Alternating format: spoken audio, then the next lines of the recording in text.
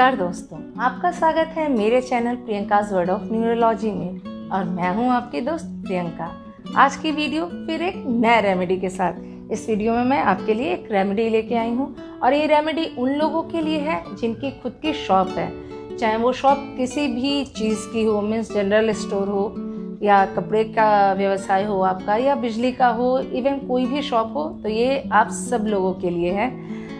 इस रेमेडी को फॉलो करने से उसमें बरकत बहुत आती है। एक्चुअली इन दो सालों में कोरोना काल में हर चीज़ें हम बहुत पीछे चले गए हैं। लेकिन हमारी लाइफ अब धीरे धीरे वापस अपने जगह पे आ रही है, जो कि अब से दो साल पहले हुआ करती थी।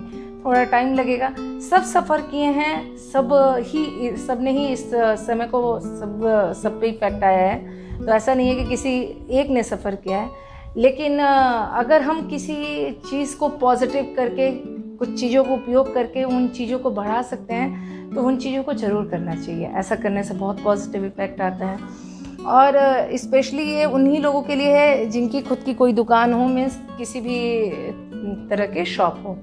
और पहले लोग कहते थे ना, जिनके घर दुकान से खर्च वगैरह चलता था, मीन्स जिनकी फैमिली जो होती है वो शॉप से चला करती थी तो हमारे पूर्वज कहा करते थे कि मकान से पहले दुकान मीन्स आपका ज़्यादा फोकस घर से ज़्यादा फोकस आपके शॉप पे होना चाहिए, क्योंकि भाई आपकी बरक्कत वहीं से होनी है, वहीं से आपका खर्चा आना है, और अगर शॉप अच्छी चलेगी तो आप तभी घर पे भी ध्यान दे पाएँगे।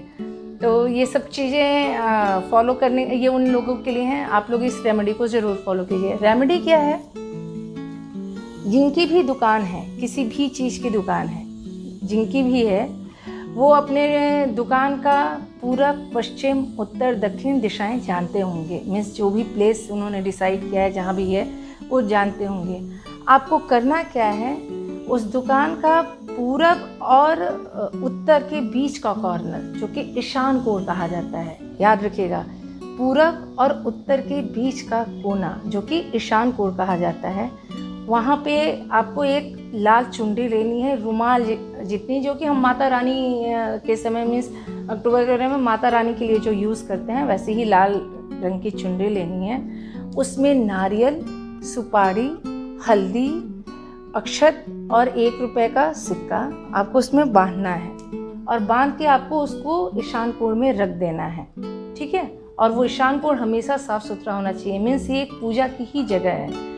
और डेली आपको दुकान जब आप खोलते हैं, जब दुकान में प्रवेश करते हैं, साफ़ सफ़ाई करके आपको पूजा करनी है उस लाल चुंडे की जिसमें आपने ये बाँध के रखा है। और यकीन मानिए, ऐसा करने से आपको बहुत ही अच्छा प्रभाव देखने को मिलेगा।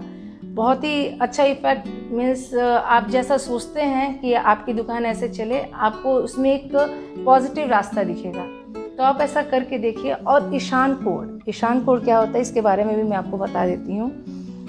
इसको देवताओं का स्थान माना जाता है। मीन्स इस कोने को देवताओं का स्थान माना जाता है। जब भी देवता धरती पे आते हैं तो वो धरती का जो ईशान कोण है, वही वास करते हैं और इसे महादेव का भी स्थान कहा जाता है। तो इसलिए ईशान कोण को हम बहुत पवित्र मानते हैं और आपको जो मैंने रेमेडी बताई है, आपको इसे फॉलो करनी है और हमेशा ईशान कोण आपका साफ़ सुथरा, स्वच्छ होना चाहिए और डेली ही आपको अगरबत्ती, बत्ती जो भी आप पूजा करते हैं, आपको डेली ही करनी है उस चुंडी की जो कि आपने बाँध के रखी हुई है। आप ये रेमेडी फॉलो कीजिए, यकीन मानिए बहुत असर और बहुत ही सकारात्मक प्रभाव देखने को मिलेगा। और आप मुझे कमेंट करके भी ज़रूर बताइएगा।